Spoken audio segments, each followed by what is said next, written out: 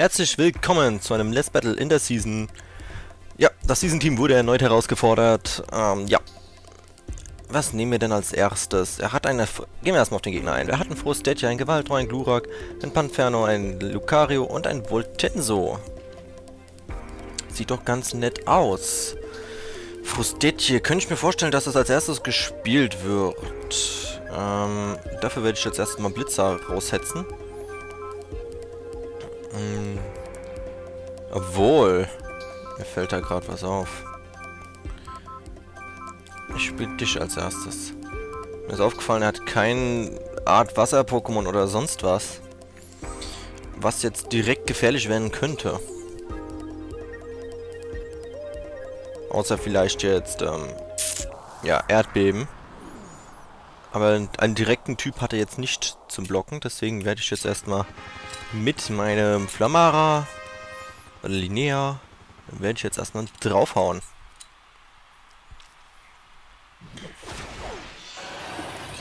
Oh, da haben wir auch schon mein... Das einzige Pokémon, vor dem ich so ein bisschen Respekt hatte mit Flammara. Na, mal gucken. Ich höre jetzt erstmal den Fluch.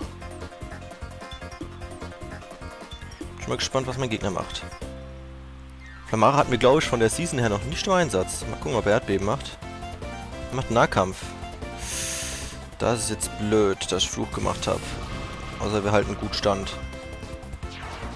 Okay, deine Verteidigung sinkt, das ist klar. Jetzt machen wir Fluch, aber das nützt uns leider nichts. Das ist das Blöde.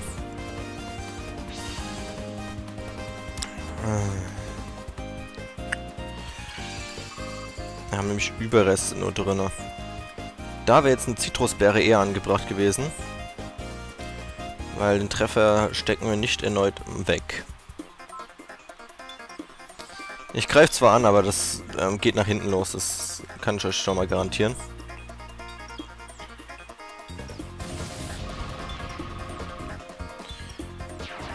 Aber dafür hast du jetzt eine Verteidigung, die ins Bodenlose geht.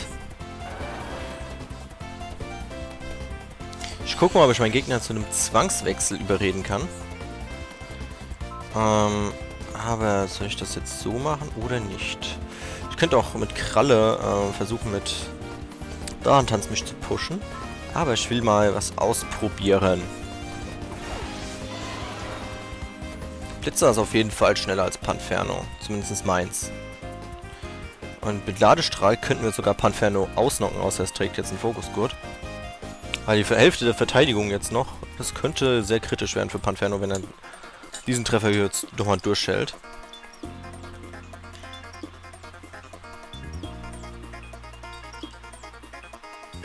Bin ich ja mal gespannt. Er ruft zurück.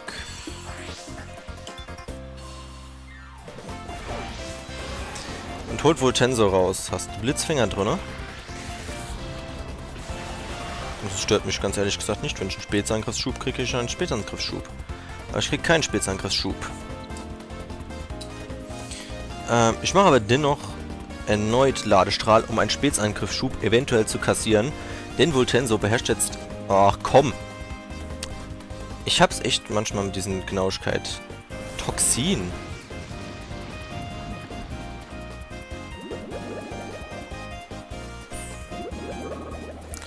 Ein Voltenso mit Toxin spielen. Jetzt muss ich doch mal überlegen, sollte ich dir lieber zuschlagen oder nicht? Und jetzt überlege. Hm. Ich schlage lieber zu. Zack. Ja, ich muss noch einmal zuschlagen. Zitrusbeere. Okay. Genau deswegen.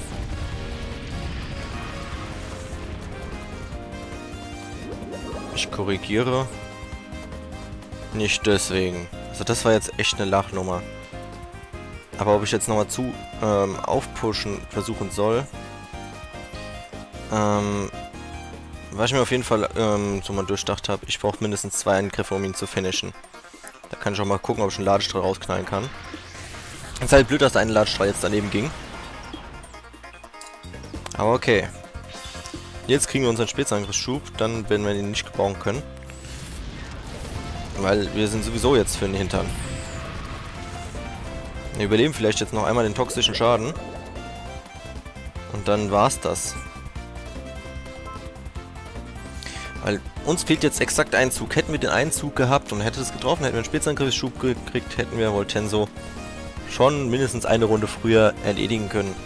Vielleicht sogar zwei Runden früher. Weil wir wesentlich mehr Schaden gemacht hätten mit Spukball. Aber okay. Leider, leider verlieren wir jetzt auch Blitzer.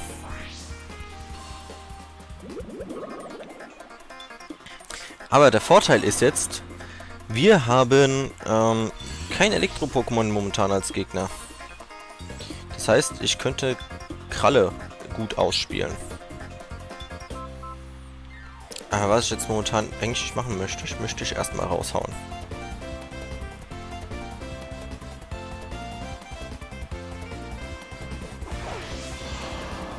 So. Crusher versus Lucario. Hm, ist eigentlich aus unserer Situation ein relativ gutes Bild. Ich bin mir nicht sicher, ob dieses Lucario einen Fokusgurt trägt. Könnte sein, könnte auch nicht sein. Ich Erdbeben mache? Hm. Könnten wir es one-hitten. Der Gegner überlegt mir zu lang. Ich mach Felsgrab. Okay, er versucht einen Fokusstoß einen, uns rein, reinzuwirken. Ich versuche jetzt erstmal einen Felsgrab hier. Verlangsamen wir erstmal unseren Gegner. Ich weiß aber nicht, ob jetzt Crusher schneller ist. Aber egal, wenn er jetzt einen äh, Fokusgurt hatte, ist dieser Fokusgurt jetzt eliminiert.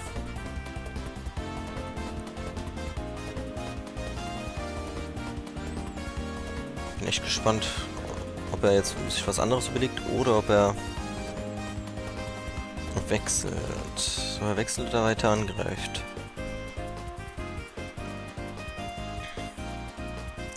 Okay, sein Lucario ist dennoch schneller. Okay. Crusher ist jetzt auch nicht unbedingt das schnellste Pokémon. Aber er kann Aurasphäre und ähm, Fokusstoß. So eine Sache, die mich so ein bisschen stutzig macht. Wieso beides?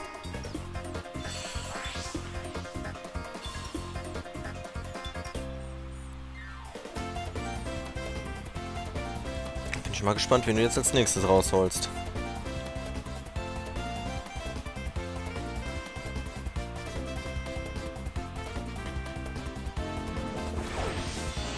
Gewaldrohr. Ja, wir könnten mit einer Eisattacke dagegen ankommen, oder wir könnten auch wechseln. Denn wir besitzen Glurak und Glurak hat eine Doppelresistenz gegenüber ähm, ja, Pflanzenattacken. Dadurch haben wir unseren Vorteil.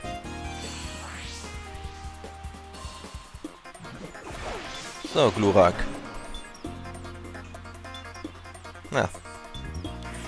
Gewaltro mit Laubklinge spielen, ist eine physische Attacke und ähm, ähm, Gewaltro ist eher speziell. Das war sogar mit Kombination mit Lebensorb, also ist... Ja, geht eigentlich. So, Flammenwurf oder Luftschnitt? Luftschnitt geht eher daneben, deswegen mache ich doch lieber Flammenwurf. Obwohl er wahrscheinlich wechselt. Jupp. Hätte ich doch Luftschnitt spielen sollen. Denke ich. Oh, geht eigentlich. Glurak gegen Glurak. Der will jetzt wissen, wer hier mehr Power hat oder wie. Also wenn unser Glurak schneller ist, ist er jetzt besiegt. Das kann ich euch garantieren. Weil den Luftschnitt wird er nicht überleben. Und zack. Oh, doch, gerade so. Wow, bin ich überrascht. Kraftreserve. Typ Stein? Nee, müsste Typ Wasser sein. Weil Stein hätte uns jetzt ausgenockt. Ich könnte jetzt auch Kraftreserve spielen. Mach ich aber nicht. Ich mach Flammenwurf. Oh ja. Erstens, Großbond aktiviert sich. Zweitens, wenn er jetzt ein anderes Pokémon abgesehen von Panferno reinholt, Panferno weiß, dass er schneller ist, hau ich die Loa-Kanonade raus mit Großbrandeffekt. Und Lebensorb, beziehungsweise stimmt, wir sterben. Oder? Na, schade. Schade, schade. Ich hätte gedacht, man könnte es jetzt so ein bisschen ausnutzen noch. Gut, also. Ähm, sein Gewaltrot zurückrufen und wir hätten noch ein Panferno als Gegner. Ich hol Crusher wieder raus. Gewaltro und Panferno haben wir noch als Gegner. Ich denke mal, er holt Gewaltro jetzt. Nein. Er ist gegen die Natur gegangen. Aber was ich mir denken kann, er wird wechseln. Ich werde jetzt einfach mal mit Seep vorsorgen. Und einfach mit sein, auf seinen Wechsel. Ich werde jetzt auf seinen Wechsel spekulieren. Ein Panferno draußen zu haben wäre Schwachsinn. Aber er macht... Ah, er hat Strauchler. Okay. Da ist es verständlich, dass er es draußen behält. Gut, damit habe ich jetzt nicht gerechnet. Gut. Okay. Wir stehen echt mit dem Rücken zur Wand. Schlotkraut. Hm, ich würde gern wissen, wie schnell sein Panferno ist. Wir hätten eine Kraftreserve mit Typ Boden zu bieten. Aber er hat noch zwei Pokémon, die locker, wirklich lockerlässig ähm, hier aufräumen könnten. Also von ihm. So, ich muss jetzt darauf hoffen, dass Kalle zwei Treffer wegstecken kann. Strauchler dürfte nicht allzu viel Schaden machen, weil Kalle nicht so extrem schwer ist. Ich hoffe zumindest nicht, dass du so viel Übergewicht hast, dass diese Attacke dich jetzt ähm, one-hittet.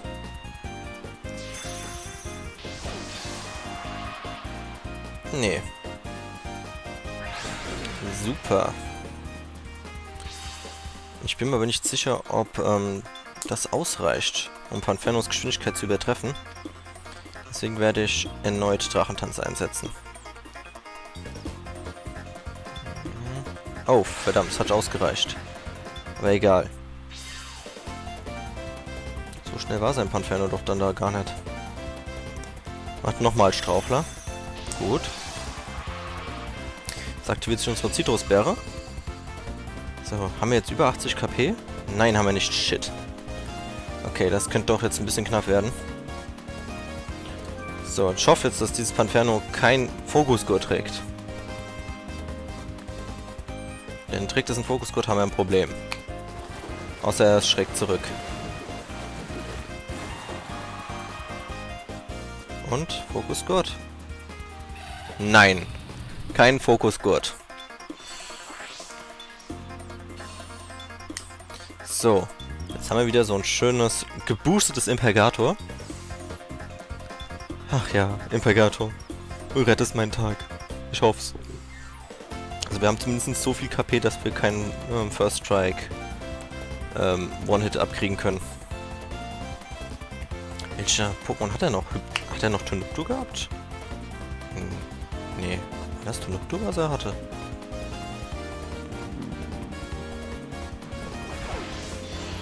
Na, da kommt Gewaltro erstmal. Gewaltro werden wir jetzt mit einem Eishieb einfach mal in die Schneewüste verfrachten.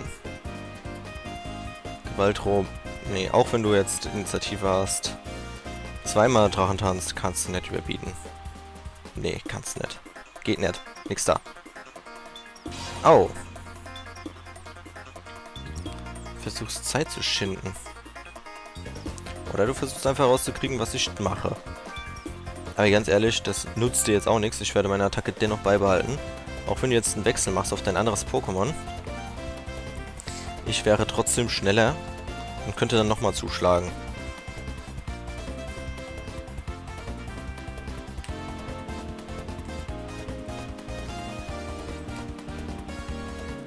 Jo. Ich würde sagen, das war's für Gewaltro. Ciao, ciao.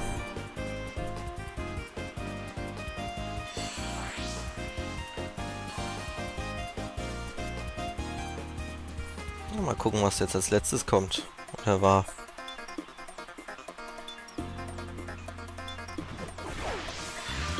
Frostetje! Oh. Diesen Gast habe ich ja total vergessen.